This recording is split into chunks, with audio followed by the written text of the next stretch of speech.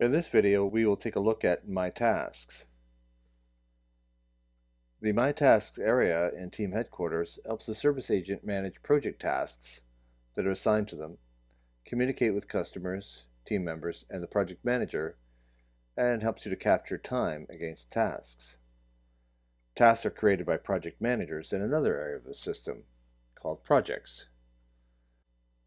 Where tasks are assigned to an individual, they will find these tasks in the My Tasks area.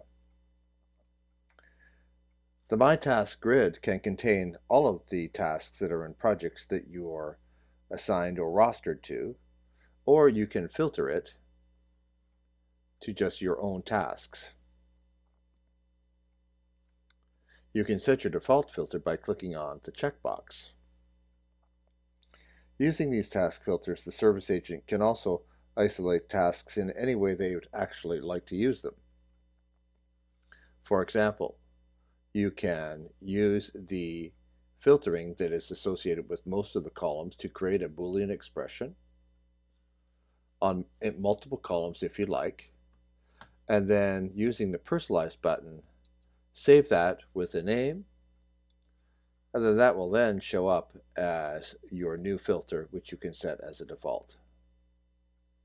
Get rid of the filter by clicking on the X.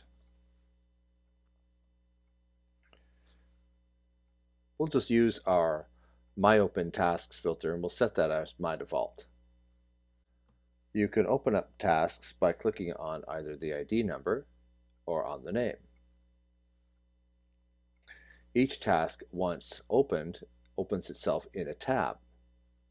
So you can go back and forth between your task list and your individual tabs. Let's open up a couple of tasks. As you can see, each one has its own tab, and as we highlight each one, it'll tell you what the tab, the task is actually, um, the description of it is. You can leave tasks open and they will automatically start clocking time against them after five minutes. When the task is opened, the current time is stored and when the Save button is clicked, the start time is compared to the save time. The difference between the two times is rounded to the nearest 5 minutes. We can learn everything there is to know about a task in just a few clicks. At the bottom of the Update History uh, section, we see the History area by, by clicking on the downward chevron. And we can scroll down and we can see what has occurred on this task. Click on the Task Details tab to get the metrics, initial description, key dates, and categorization of the task. Click on the roster to see if there are other people associated with this task that you'll be working with.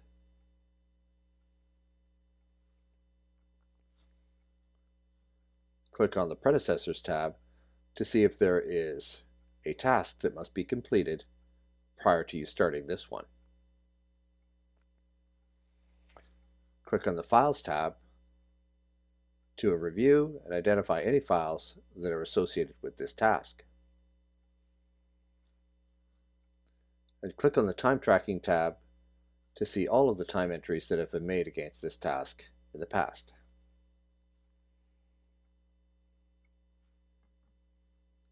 Let's take a look at the Update History function. Using video 4-my tasks, we'll update the comment. We'll capture an hour of time against this, and we'll mark it as 50% complete. We'll also upload a file that will be available to all the other rostered individuals and the project manager.